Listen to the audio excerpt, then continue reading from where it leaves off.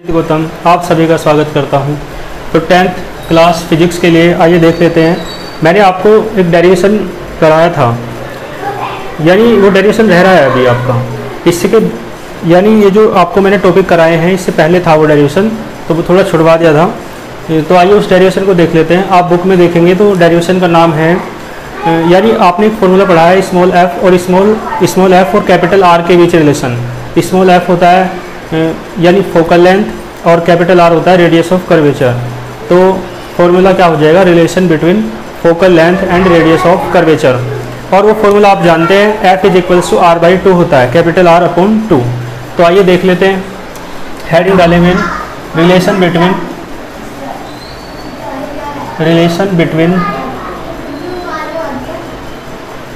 किस किस के बीच रिलेशन देखना है? रिलेशन देखना है आपको। फोकल लेंथ यानी स्मॉल एफ़ के बीच, स्मॉल एफ़, है ना, फोकल लेंथ क्या होती है? Small F. सारी डेफिनेशन मैंने करा रखी हैं, आपको याद होनी चाहिए, तभी आपको अच्छे समझ में आएगा। तो relation between focal length and radius of curvature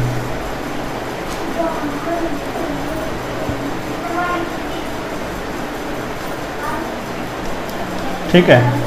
radius of curvature होती है कैपिटल आर तो यानी रिलेशन बताना है इन दोनों के बीच। तो इसमें भी दो देखो दो डेरिवेशन हो जाएँगे। एक हो जाएगा आपका कॉनकेव के लिए, है ना? और एक हो जाएगा आपका कॉन्वेक्स के लिए। तो पहले देख लेते हैं for concave mirror for concave mirror ठीक है, बात क्लियर है? अब देखो कॉनकेव मिरर के लिए सबसे पहले एक डायग्राम बना लेते हैं। डायग्राम बनाना बहुत आवश्यक है ना? डायग्राम ही मेन है और फिर इसके बाद तो हो जाता है सब कुछ। तो डायग्राम बहुत ध्यान से समझेंगे आप लोग। मिरर में आपको पता है रिफ्लेक्टिंग सरफेस की ओर एक पॉइंट होता है, जिसे पोल कहते हैं, और पोल और प्रिंसिपल फोकस से होके लाइन जाती है, जिसे आप क्या कहते हैं प्रिंसिपल एक्सिस ठीक है तो ये पोल हो जाएगा। मिरर का नाम आप रख सकते हो एम वन एम और ये मिरर कौन सा है? कॉनकेव मिरर ठीक है, कौन सा मिरर है? कौन कॉनकेव मिरर बात क्लियर है? यहाँ पर जो पॉइंट होगा, उसे आप प्रिंसिपल फोकस कहते हैं। और उससे जस्ट डबल डिस्टेंस पर एक पॉइंट होता है, जिसे आप सेंटर ऑफ़ कर्वेचर कहते हैं। बात समझ में आ रही है? तो जो सेंटर ऑफ़ कर्वेचर है, वो प्रिंसिपल फोकस से जस्ट डबल डिस्टेंस पर होता है। तो इस बात का आप ध्यान रखें, ये है ना डिस्टेंस की डबल होती है, ये वाली डिस्टेंस यानी CP जो होता है ना, वो पी एफ़ का कैसा होता है? डबल होता है। ये एफ़ पी का कैसे होता है? डबल होता है। क्लियर है? तो इसे थोड़ा और आगे मान लो। देख लेना, आप अपने हिसाब से एडजस्ट कर लेना। डबल डिस्टेंस पर होना चाहिए। देखो इन्फिनिटी पर कोई ऑब्जेक्ट रखी है तो वहाँ से एक लाइट रे आ रही है, और वो कैसी आ रही है? Parallel to the principal axis यानी इसमें फ़र्स्ट ला लगा दो। तो आपको बताया फ़र्स्ट ला के अनुसार the light ray parallel to the principal axis passes through the principal focus after the reflection from the concave mirror concave mirror से रिफ्लेक्शन के बाद वो कहाँ से होके जाएगी? प्रिंसिपल फोकस से पास होके जाएगी। क्लियर है? तो देखो, यहाँ पे कुछ नहीं करना, बस एक, है ना? बस इतना ही डायग्राम है। बस एक नॉर्मल ड्रॉ करना है। सेंटर ऑफ़ कर्वेचर सी पे से, है ना? इस पॉइंट पर। और इस पॉइंट को आप कुछ भी मान सकते हो, है ना? इस, है ना? कुछ भी पॉइंट जैसे ए मान लो इसे, इस पॉइंट को आप बी मान सकते हो, है ना? तो इसे सी से बी पर एक क्या करना है? नॉर्मल ड्रॉ करना है। क्लियर है? नॉर्मल यानी जो परपेंडिकुलर होता है, यानी देखो, इस सरफेस का कैसा है ये? 90 डिग्री का एंगल बना रहा है तो इसलिए क्या है वो नॉर्मल है। बात समझ में आ रही होगी आपको? देखो, यहाँ पे मान लो एंगल बन रहा है थीटा क्लियर है? यहाँ पे यदि एंगल बन रहा है थीटा तो आपको पता है इससे जस्ट डबल डिस्टेंस पे ये है तो यहाँ एंगल कितना हो जाएगा? टू थीटा यानी इसमें एक फैक्टर आप याद रखेंगे, और फैक्टर ये है, देखो इस तरीके से। एक राइट एंगल ट्राइंगल है है ना? ये आपने वो पढ़ा होगा हाइट एंड डिस्टेंस उसमें देखा होगा। ठीक है? तो एक ट्राइंगल है राइट एंगल ट्राइंगल और आप मान के चलो ये डिस्टेंस कितनी है? एक्स है, और ये डिस्टेंस कितनी है? एक्स तो यानी दोनों डिस्टेंस कैसी हैं? सेम है। आपको दिख रहा है ऊपर का? तो यानी कहने का मतलब है, ये जो पॉइंट है, इससे, है ना, यहाँ से, यानी ए से जो बी वाला पॉइंट है और सी वाला पॉइंट यानी ए से जो सी वाला पॉइंट है ना, वो बी की डिस्टेंस पर जस्ट डबल डिस्टेंस पे है तो यानी ये टोटल डिस्टेंस कितनी है? टू एक्स ठीक है, बात समझ पा रहे होंगे आप लोग? तो यदि ये कंडीशन है, यानी ये दोनों डिस्टेंस सेम होती हैं यदि तो यदि ये एंगल थीटा है तो ये एंगल कितना होगा? टू थीटा ऐसे यहाँ पे आपको बताया जितनी डिस्टेंस ये है, उतनी ही ये है। तो ये एंगल थीटा है तो ये एंगल कितना हो जाएगा? टू थीटा और आपको पता होगा करस्पॉन्डिंग एंगल या क्या कहते हैं, देख लेना आप इन्हें। इस तरीके से होता है। देखो, दो पैरेलल लाइंस है है ना? तो इसमें मैं एंगल आपको बताना चाह रहा हूँ कि जितना एंगल ये है, मान लो थीटा है तो ये भी ऊपर वाला भी कितना हो जाएगा? थीटा देख लेना इन्हें क्या कहते हैं ना। तो आप आप यहाँ देखें यदि ये वाली प्रॉपर्टी ज्योमेट्री की आप यहाँ पे लगाते हैं तो ये एंगल टू थीटा है, ठीक है? ये लाइन के बीच और इस लाइन के बीच। तो इस लाइन और उस लाइन के बीच, यानी सारा एंगल भी कितना हो जाएगा? टू थीटा ठीक है? तो उसी वही वाली बात है, जितना एंगल यहाँ पे, उतना ही ऊपर। तो ऐसे जितना एंगल टू थीटा यहाँ पे है, उतना ही ऊपर हो जाएगा। और आपको है टू थीटा पूरा है तो देखिए ये थीटा हो जाएगा। और आधा ये भी थीटा हो जाएगा यानी थीटा थीटा हो जाएगा। और देखो यहाँ पे बात समझ में आ रही है आपको सारी? तो बस है ना ये डायग्राम आपका कंप्लीट हुआ। थोड़ी सी लैंग्वेज इसके बारे में लिख देनी है क्या कहना है। हाँ एक काम और करेंगे इसमें। यहाँ से नॉर्मल ड्रॉ कर लेंगे ऊपर से प्रिंसिपल एक्सिस पर। और इसका नाम चाहे तो आप एन रख लो। है ना ये पॉइंट आपका पोल है ही पी तो देखो क्या कर, हाँ एक बात और आपको बताया पोल से लेकर प्रिंसिपल फोकस तक की जो डिस्टेंस है, उसे स्मॉल एफ़ से डिनोट करते हैं और उसे कहते हैं फोकल लेंथ और इधर जो रहता है, इस साइड माइनस की रहती है, ये डिस्टेंसेस है ना? उधर होती तो प्लस होता है क्योंकि वो एक्स एक्सिस की पॉजिटिव डायरेक्शन है और ये कैसी डायरेक्शन है? निगेटिव और आपको बताया पोल से और सेंटर ऑफ़ कर्वेचर के बीच की जो डिस्टेंस है, उसे रेडियस ऑफ़ कर्वेचर कहते हैं कैपिटल आर से डिनोट करते हैं और इधर है क्योंकि नेगेटिव डायरेक्शन में तो इसलिए कैसे रहेगी? माइनस आर तो ये है आपका डायग्राम इसमें आपको कोई दिक्कत नहीं होगी। इस डायग्राम को आप बहुत अच्छे से समझ लेना। आइए देखते हैं, फिर आगे चलते हैं। तो देखो, इसकी लैंग्वेज में बोल देता हूँ। क्या कहेंगे? लेटेस्ट कंसिडर एक concave mirror M one T M two clear है? फिर क्या कहेंगे? The light ray parallel to the principal axis या एक, इसमें ये भी बता सकते हो कि प्रिंसिपल फोकस एफ़ है सेंटर ऑफ़ कर्वेचर सी है। तो ऐसा कहेंगे आप। Let us consider M one P M two be a concave mirror of principal focus capital F and centre of curvature capital C है ना? Focal length small F and radius of curvature capital R चलिए, बता दो, है ना?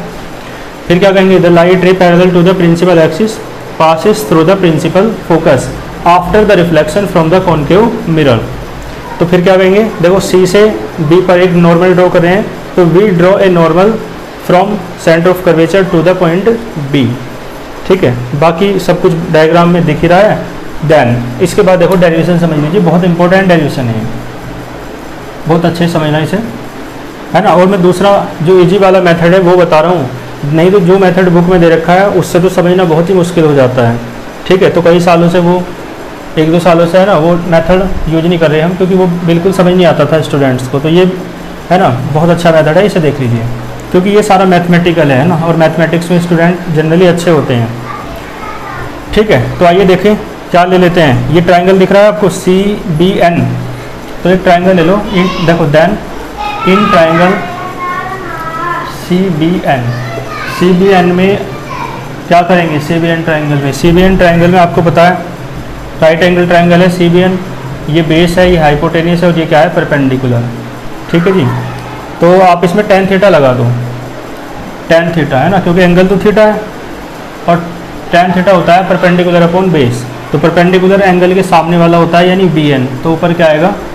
B N और upon में आएगा बेस बेस क्या है? सी पी नहीं, यहाँ तक की बात हो रही है ना ट्राइंगल की तो बेस क्या है? सी एन बात समझ आ रही है? इक्वेशन फ़र्स्ट डाल दो इसे।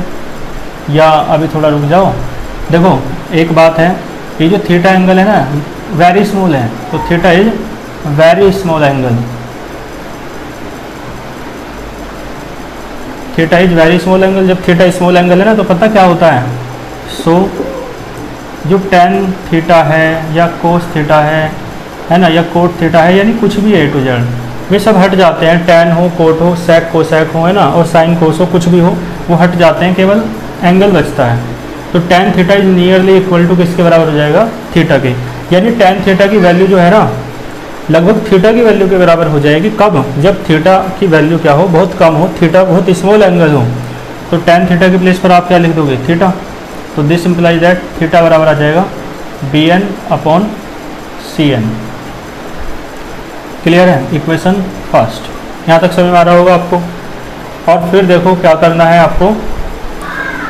ये जो ट्राइंगल लिया था ना सी बी एन अब ये वाला ले लो। एफ़ बी एन तो in triangle F B N we have देखो इस ट्राइंगल में भी यही काम करना है टेन थीटा लगाओ। लेकिन यह थीटा एंगल नहीं है, यह टू थीटा एंगल है। तो टेन टू थीटा बराबर परपेंडिकुलर कितना है? बी एन और अपॉन बेस कितना है? एफ़ एन ठीक है? और यहाँ भी ऐसे करना है बिकॉज़ भाई थीटा एंगल यदि स्मॉल है तो टू थीटा भी कोई ज़्यादा बड़ा नहीं होगा। तो two theta angle is very small तो यहाँ भी यही वाली प्रॉपर्टी लगाएँगे। और जब एंगल स्मॉल हुआ तो जो टेन टू थीटा था, वो लगभग किसके बराबर हो गया? टू थीटा के।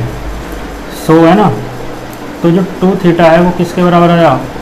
B N upon F N के, है ना? B N upon F N के। यहाँ तक समझ आ रहा है? इधर देख लीजिए। अब देखो थीटा की वैल्यू आप रख सकते हैं इक्वेशन फ़र्स्ट से। तो देखो थीटा की वैल्यू क्या रखोगे इक्वेशन फ़र्स्ट में? बी एन फ़र्स्ट से क्या रखोगे? B N upon C N और ठीक है, यहाँ थीटा की वैल्यू रख दी इक्वेशन फ़र्स्ट से, और ये बराबर ऐसे ही रहेगा। बी एन अपॉन यह है एफ़ एन और ये कहाँ से रखी है वैल्यू तो साइड में लिख दो फ्रॉम फ़र्स्ट इक्वेशन फ़र्स्ट है ना? तो बी एन से बी एन कैंसिल हो जाएगा। ठीक है, यहाँ पे एन से एन कैंसिल मत कर देना, ठीक है? तो ये क्या बचेगा? एफ़ एन देखो two F N cross multiply करो, किसके बराबर आ जाएगा? सी एन की। बात क्लियर है यहाँ तक? Two F N C N के बराबर आया। अब एक बार बताओ, यदि ये जो ये है आपका कॉनकेव मिरर इसका कर्वेचर यानी इसका जो घुमाव है, वो थोड़ा कम हो। कम कैसे हो? यानी इसका घुमाव ऐसे ज़्यादा है। देखो, ऐसे ज़्यादा होगा तो ये पॉइंट एन और पॉइंट पी पॉइंट पी थोड़ा और दूर चला जाएगा, क्योंकि ऐसे घुमाव ज़्यादा हो जाएगा ना फिर इस तरीके से। इस तरीके से यदि होगा तो। तो पॉइंट पी थोड़ा और दूर होगा, क्योंकि पॉइंट पी तो सरफेस पे है ना। लेकिन यदि घुमाव जो है कर्वेचर जो है कम होगा तो पॉइंट पी और पॉइंट एन फिर कहाँ होंगे? और पास हो जाएँगे, यानी कर्वेचर कम होगा तो फिर इस तरीके से हो जाएगा। क्लियर है? तो यानी जो कर्वेचर यानी घुमाव ज़्यादा होगा तो पॉइंट पी और पॉइंट एन काफ़ी दूर दूर होंगे, और घुमाव या कर्वेचर कम होगा तो पॉइंट पी और पॉइंट एन पास पास होंगे। ठीक है? तो यही बात मान के चलेंगे। है ना? मान के चलो if curvature if curvature of mirror यदि मिरर का जो घुमाव है कर्वेचर है, वो कैसा है? इज़ है ना? क्या कहेंगे? स्मॉल है ना? कम है। ठीक है। तो कर्वेचर कैसा है? कम है। तो कर्वेचर यदि कम होगा तो आप मुझे बताएँ पॉइंट पी कैसा होगा? पॉइंट एन के समीप होगा। तो इसका मतलब है है ना? तो मैं लिख देता हूँ। Point P is near to point N तो देखो इस स्थिति में क्या हो जाएगा? जब पॉइंट पी पॉइंट एन के बराबर हो जाएगा तो देखो एफ़ एन जो डिस्टेंस है ना एफ़ एन वो लगभग एफ़ पी के बराबर ही तो हो जाएगी। इतने से का अंतर है, थोड़े से का छोड़ दो। तो यानी एफ़ एन जो डिस्टेंस है है ना? एफ़ एन जो डिस्टेंस है आपकी वो लगभग किसके बराबर हो जाएगी? हो जाएगी एफ़ पी के बराबर। यानी एन की जगह पी आ जाएगा, क्योंकि एन और पी में ज़्यादा अंतर नहीं है ना एन और पी पॉइंट पास पास है। तो एन मान लो एन ले लो या पी ले लो, एक ही बात है। तो हम पी ले रहे हैं तो एफ़ एन जो है, यानी एन की जगह क्या पॉइंट आ जाएगा? पी यानी जो एफ़ एन डिस्टेंस है, वो लगभग किसके बराबर हो जाएगी? एफ़ पी के। और दूसरी बात, जो सी एन डिस्टेंस है, वो भी लगभग किसके बराबर हो जाएगी? सी पी के। ठीक है? तो देखो, इस स्थिति में क्या आ जाएगा? यह आ जाएगा टू एफ़ पी बराबर इधर आ जाएगा सी पी। यहाँ तक समझ में आ रहा है आपको? तो टू एफ़ पी किसके बराबर आया? सी पी के। आपको दिख नहीं रहा है ना? तो मैं उसे साइड में लिख देता हूँ। यहाँ तक तो दिख ही रहा है। है ना? देखो, इधर लिख देता हूँ ऊपर। तो एक बार बताओ। सो, ये जो एफ़ एन की जगह क्या रखोगे आप? F P. और इधर सी एन की जगह सी पी अब आप देख के बताओ एफ़ पी की वैल्यू कितनी है? एफ़ पी की वैल्यू कितनी है? माइनस के एफ़ ठीक है तो माइनस के एफ़ और सी पी की वैल्यू कितनी है? सी पी की वैल्यू है माइनस के आर डायग्राम से देखें तो माइनस से माइनस आपका कैंसिल हो जाएगा और ये फॉर्मूला प्रूफ हो जाएगा F is equals to R by two two को अपॉन में ले आओ। तो यही तो होता है, आपने याद कर रखा है फोकल लेंथ की डेफिनेशन में ये फॉर्मूला आपके याद है। है ना? फोकल लेंथ क्या होती है? रेडियस ऑफ़ कर्वेचर की हाफ़ होती है। या इसे कह सकते हो it is the relation between focal length and radius of curvature या ये भी कह सकते हो hence the focal length is half of radius of curvature बात समझ आई? तो ये पूरा डेरिवेशन आपका कंप्लीट हो गया है, जो क्या था? रिलेशन था फोकल लेंथ और रेडियस ऑफ़ कर्वेचर के बीच। ठीक है? तो इसमें देखो, कर लो इसे, है ना? बिल्कुल सेम डेरिवेशन रहेगा आपका किसके लिए? कॉन्वेक्स के लिए। कॉन्वेक्स के लिए आपका बिल्कुल सेम डेरिवेशन हो जाएगा, बिल्कुल भी अलग नहीं होगा। ठीक है ना? तो उसका डायग्राम बस थोड़ा सा अलग है तो मैं डायग्राम बना देता हूँ बस, है ना? तो आप इस वीडियो को पोस्ट करके नोट कर लेंगे, मैं इसका डायग्राम रफ कर रहा हूँ। कॉन्वेक्स के लिए देख लेते हैं ना? क्योंकि अलग नहीं है, इसलिए साथ ही करा दूँ, तभी अच्छा समझ जाएगा। डेरिवेशन सेम है, बस डायग्राम अलग है। तो देखो कॉन्वैक्स लेंस ऐसे बनता है है ना? यानी जो उभरा हुआ पार्ट है कॉन्वेक्स उभरा हुआ, वो कैसा है? रिफ्लेक्टिंग है M1 और ये M2 बीच से एक लाइन जाती है जैसे प्रिंसिपल एक्सिस कहते हैं, ये पोल है। और इसका जो सेंटर ऑफ़ कर्वेचर वगैरह हैं, सब चीज़ें वो इस तरफ़ होंगी, है ना? तो मान लो सेंटर ऑफ़ कर्वेचर है और यहाँ पे मान लो क्या है? प्रिंसिपल फोकस है। लाइट रे पैरेलल आएगी, आपको पता है जैसे कि, है ना? फिर मैंने बता रखा है कि वो टकरा के वापस जाएगी, लेकिन पहले इन्हें मिला दो आप। टकरा के वापस इसी सीध में जाएगी। इस तरीके से, है ना? बता रखा है। बिल्कुल ऐसे ही डायग्राम है। और देखो, वहाँ पे भी अभी कौन कॉन्केव मिरर के डायग्राम में सी से बी पर एक क्या खींचा था? नॉर्मल खींचा था, जैसे बी मान लो, और सी से बी पर अब भी एक नॉर्मल ड्रॉ कर दो। बात क्लियर है?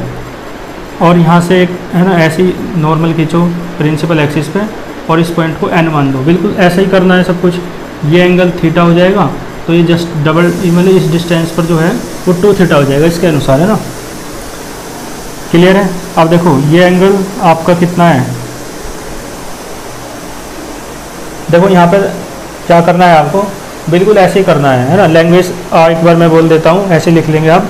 लेटेस्ट कंसिडर है ना? एक convex mirror M1 P M2 फिर क्या कहेंगे? हाँ ये भी कह दो ऑफ़ फोकल लेंथ वो of principal focus capital F and centre of curvature capital C clear है? और क्या कहेंगे आप? देखो, ये फोकल लेंथ स्मॉल एफ़ इधर बनेगी यहाँ पे। इधर, और capital R radius of curvature भी इधर होती है। तो ये दोनों प्लस की हैं क्योंकि इधर हैं। तो फिर क्या कहेंगे? And focal length small F and radius of curvature capital R इस तरीके से। ठीक है? डायग्राम के बारे में फिर और ज़्यादा बात नहीं करनी। दैन तो दैन बिल्कुल सारा प्रोसेस वो का वही है, आप देख लो। सबसे पहले आपने सी बी एन ले लिया।